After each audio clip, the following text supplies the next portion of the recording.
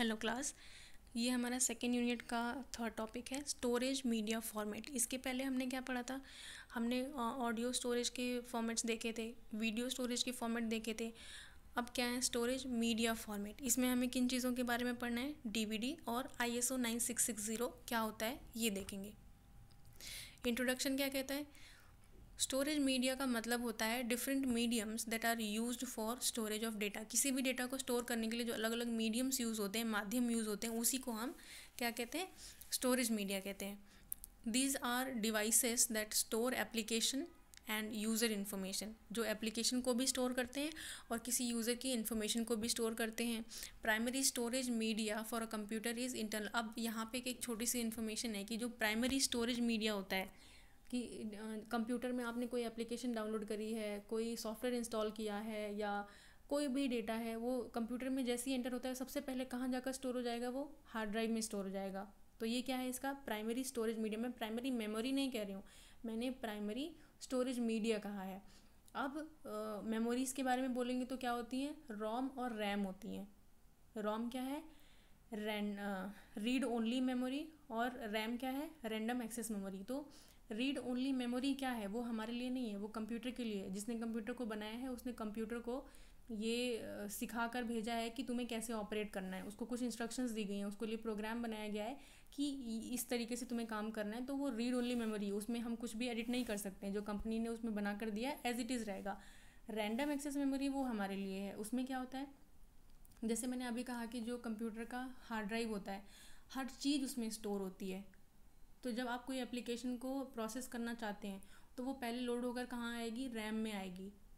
ठीक है? Random access memory जो कि वॉलेटाइल होती है। यानी आप कोई काम कर रहे हैं, आपने उसको सेव नहीं किया है लाइट कट गई तो वो पूरा चला जाएगा। और ये भूल जाएगा कि आप क्या काम कर रहे थे। इसने ये सेव नहीं करेगा। जब तक आपको इसको इंस्ट्रक्ट नहीं करेंगे कि इसको सेव कीजिए। इसका एक छोटा सा ट्रिक है। अगर हम रैम में ए को उल्टा करेंगे तो वो वी जैसा दिखता है। तो वी का मतलब क्या हुआ? वॉलेटाइल ओ को वी नहीं बना सकते तो वो नॉन वॉलेटाइल हो गया। तो वहाँ से ये उठ करके इधर आएगा लोड होगा और इसीलिए कहते हैं कि जब आप कोई भी का, काम शुरू करते हैं तो उसको पहले सेव कर लीजिए ताकि आपका डेटा इन केस अगर आप सिस्टम में काम कर रहे हैं लाइट चली गई आपके पास बैकअप नहीं है या सिस्टम कुछ भी गड़बड़ हो जाती है तो आपका डेटा सेफ़ रहे।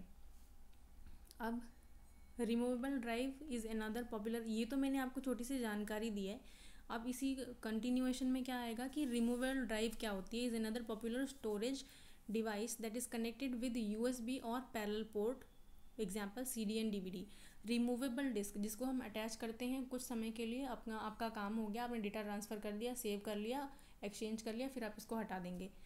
ज़्यादातर जो एक्सटर्नल डिवाइसेस होते हैं, वो क्या करते हैं? फ्लेक्सिबल डेटा ट्रांसफ़र की फैसिलिटी देते हैं। एक कंप्यूटर से दूसरे में, एक डिवाइस से दूसरे में हम क्या करते हैं? फ्लेक्सिबिलिटी दे देते हैं कि हाँ डेटा एक एक अलग एक्सटर्नल डिवाइस को कनेक्ट करके डेटा को ट्रांसफ़र किया जा सके। अब टाइप ऑफ़ स्टोरेज मीडिया क्या होता है? सीडी और डी सी क्या है? फुल फॉर्म है compact disc is a digital data storage medium that was develop इसको किसने डेवलप किया था? फिलिप्स और सोनी नाम की कंपनी ने 1982 में डेवलप किया था। डिजिटल डेटा को स्टोर करने का फॉर्मेट है ये। और the format was original develop to store starting में इसको सिर्फ़ साउंड रिकॉर्डिंग को स्टोर करने के लिए ही बनाया गया था, लेकिन बाद में इसका यूसेज बढ़ गया। दूसरी दूसरी चीज़ों के लिए भी इसको यूज़ किया जाने लग गया।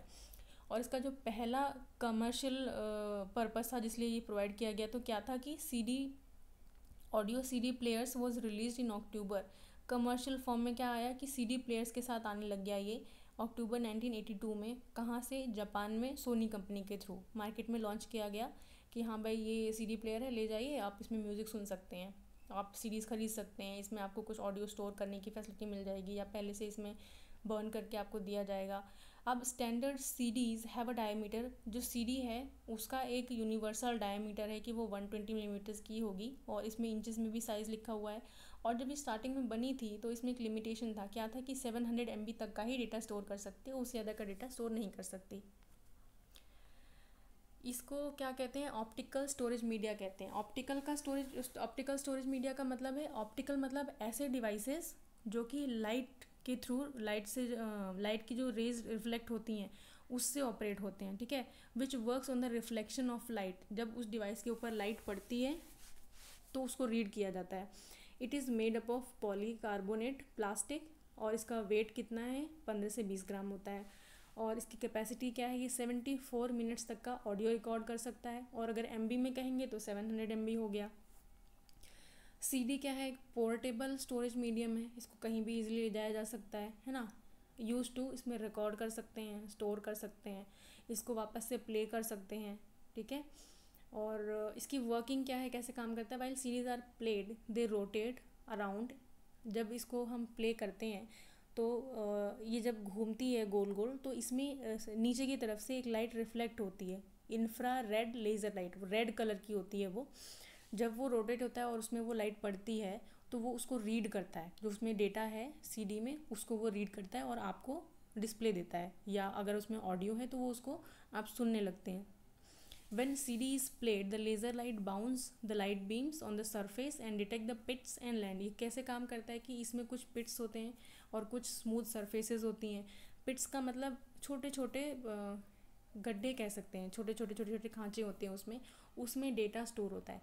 और जो स्मूथ सरफेस होती है, वहाँ पर डेटा नहीं होता है। तो जब लाइट रिफ्लेक्ट होकर के पिट्स पे पड़ती है तो वो साउंड को क्रिएट करता है। जो डेटा है, उसको आपको ऑडिबल कर देता है।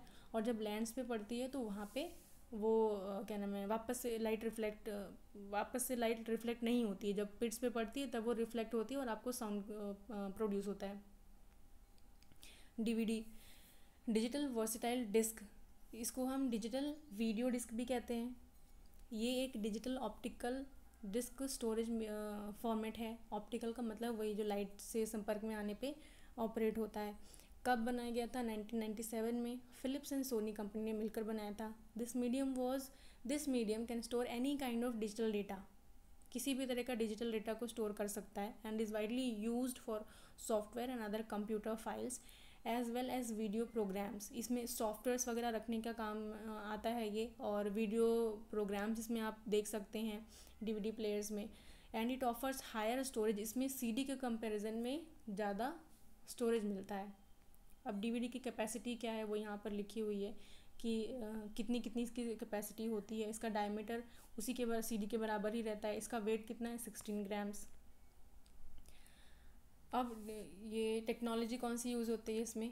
D V D are made from zero point six m m thick disc of polycarbonate plastic coated with a thin reflective aluminium layer two such disc are coated together from a one point two m m double side disc अब इसमें जो एनिमिली जो plastic है, उसका हमें कोई use नहीं है? वो तो सेफ्टी के लिए लगाया जाता है। जो एल्यूमिनियम है, इसमें एल्यूमिनियम की जो लेयर होती है, यही है जिसमें कि डेटा को स्टोर किया जाता है। ठीक है? अब ये क्या है one point two m m double sided disc single sided single layer भी हो सकती है डबल लेयर भी हो सकती है। उसके अकॉर्डिंग इसमें डेटा कम और ज़्यादा स्टोर होता है, इसकी कैपेसिटी बढ़ाता है। Series and DVDs contain digital information which is represented by binary code that is combination of zero zero और वन के कोड उसमें ही काम करते हैं। जैसे मैंने आपको बताया ना पिट और लैंड यानी कि पिट्स और स्मूथ सरफेसेस तो जो पिट होगी उसमें डेटा है तो वो क्या रिफ्लेक्ट करेगा? वन और जो स्मूथ सरफेस पे लाइट पड़ेगी तो वो क्या रिफ्लेक्ट करेगा? ज़ीरो यानी वहाँ कोई डेटा नहीं है। कंप्यूटर हमेशा ज़ीरो और वन के फॉर्मेट में बाइनरी में ही ऑपरेट करता है। तो ये इस तरह से काम करता है। एंड इट प्रोड्यूसेस वो हमें जानकारी देता है हमारे रीडेबल और हमारे ऑडिबल फॉर्मेट में। इट कैन कंटेन इसमें थर्टी टाइम्स ज़्यादा ज़्यादा डेटा स्टोर कर सकते हैं in comparison of C D अब थर्ड वाला ये आपके टॉपिक में नहीं था, फिर भी फॉर योर इन्फॉर्मेशन मैंने यहाँ पे ऐड कर दिया कि ब्लू रे डिस्क होता क्या है। It is simply known as Blu ray is a digital optical disc storage media ये भी लाइट से ही चलता है, लेकिन इसमें फ़र्क क्या है? उसमें हम रेड कलर की राइट्स यूज़ करते थे, इसमें ब्लू कलर की होती है। It is designed to supersede the D V D पहले सी डी आया, फिर उसका इम्प्रूवमेंट हो गया डी वी डी आया। अब डी वी से बेटर क्या होगा? तो वो, ये आ गया Blu ray disc and capable of storing several hours of high definition video मतलब उससे बेटर क्वालिटी के आप इसमें एच डी क्वालिटी के वीडियो से स्टोर कर सकते थे। मेन यूज़ ऑफ़ ब्लू रे क्या था? Is as a medium to store video material को स्टोर करने के लिए and here the name Blu ray represents blue laser ठीक है? Which is actually a violet blue कहते हैं, लेकिन उसका लाइट का जो रिफ्लेक्शन है वो कैसा होता है? वॉयलेट कलर का होता है।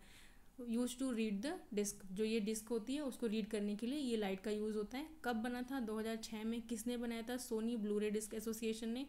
और इसकी कैपेसिटी क्या है? Twenty five G B single layer की है और फिफ्टी डी जी बी तब हो जाएगी जब ये डबल लेयर्ड होगी। अब I S O nine six six zero क्या है? जो कि 1988 में बना था। आईएसओ का फुल फॉर्म है इंटरनेशनल अभी इसमें देखते हैं क्या इंटरनेशनल ऑर्गेनाइजेशन फॉर स्टैंडर्डाइजेशन इसमें थोड़ा कन्फ्यूज़न हो जाता है क्योंकि आईएसओ का हमें ऐसा लगता है कि इंटरनेशनल स्टैंडर्ड ऑर्गेनाइजेशन होगा, पर वो नहीं है। इसका फुल फॉर्म है आई, फिर ओ, फिर एस, यानी इंटरनेशनल ऑर्गेनाइजेशन फॉर स्टैंडर्डाइजेशन एक ऐसी संस्था जो स्टैंडर्ड्स बनाने का काम करती है। तो I S O nine six six zero क्या है? Is a file system for optical disc media सिर्फ़ ऑप्टिकल डिस्क मीडिया के लिए ही है, यानी C D D V Ds Blu rays ये जो है ना, ये क्या है हमारे, ये ऑप्टिकल डिस्क हैं। तो ये सिर्फ़ इन्हीं के लिए है। Being published by the international organisation for standardisation the file system is considered an international technical standard क्यों? क्योंकि जो आईएसओ है, ये इंटरनेशनल लेवल के स्टैंडर्ड्स रिलीज़ करता है।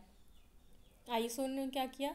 Fix standards for the technical storage उसने स्टैंडर्ड्स बनाए कि किस तरह से इन फॉर्मेट्स में डेटा को स्टोर किया जाएगा, और ये सिर्फ़ सी डी के लिए है this standard allows you to read the same C D ROM where you are whether you are on a P C अब ये क्या कहते हैं? स्टैंडर्ड्स के फ़ायदा क्या है? किसी भी तरह के प्लेटफॉर्म पे, यानी किसी भी तरह के ऑपरेटिंग सिस्टम पे आप काम कर रहे हैं, आप हर जगह उसको रीड कर सकते हैं, चला सकते हैं। This standard was written by an industry जिसका नाम था हाई सेरा कब 1988 में। तो ये हमारा स्टोरेज मीडिया फॉर्मेट भी कंप्लीट हो गया यहाँ पे। Thank you